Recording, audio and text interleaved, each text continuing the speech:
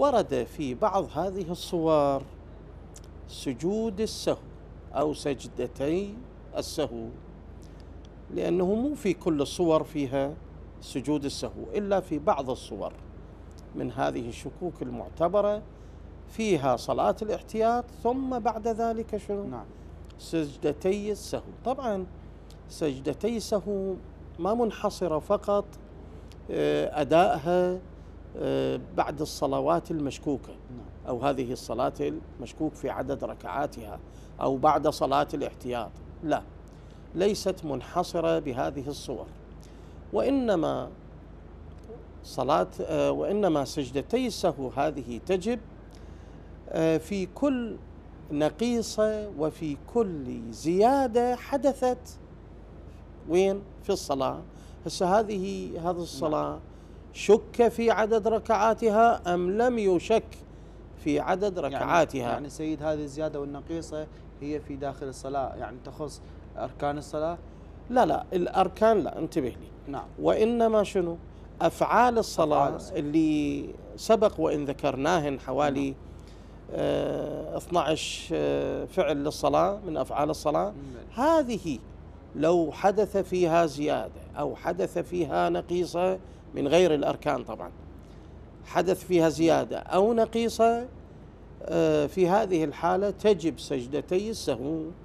هذا بشكل عام أما بشكل خاص سجدتي السهو هذه تجب فيما لو تكلم المكلف في أثناء الصلاة سهوا مو عمدا.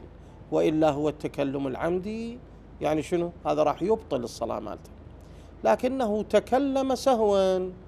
هذه الصورة فيها شنو؟ يجب على المكلف حينئذ بعد بعد صلاته بعد التسليم أن يأتي بسجدتي سهو.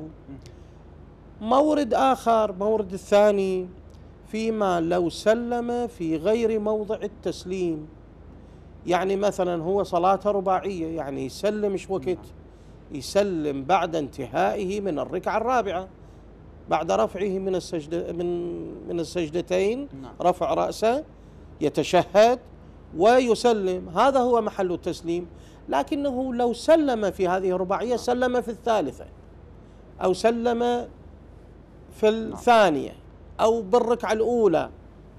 قال السلام عليكم ورحمة الله وبركاته مثلا. نعم. أو ثلاثتهن حجاهن مثلا. بعد ذلك تب عرف أو علم نفسه أنه مو هنا يسلمون. لازم يكون بالرابعة بعد انتهاء الرابعة قام وكمل الصلاة مالته. حينئذ يجب على المكلف بعد الانتهاء من الصلاة أن يأتي بسجدتي سهو لهذا التسليم الذي حدث في غير موضعه. أحسن. هذا المورد الثاني. المورد الثالث إذا نسي إحدى السجدتين يعني مو عليه سجدتين مال الصلاة؟ نعم. لأن كلاهما واجب ذن السجدتين نسى وحدة من عدهين وانتقل إلى الفعل اللي بعدها زين؟ وتذكر بعدين أنه ناسي سجدة وحدة من ذن السجدتين. أيضا يقضي هذه السجدة ثم يسجد سجدتي سهو. هذا المورد شنو؟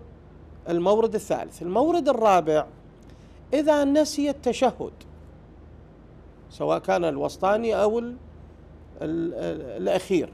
هو التشهد نسي التشهد يقضيه ثم يسجد سجدتي السهو.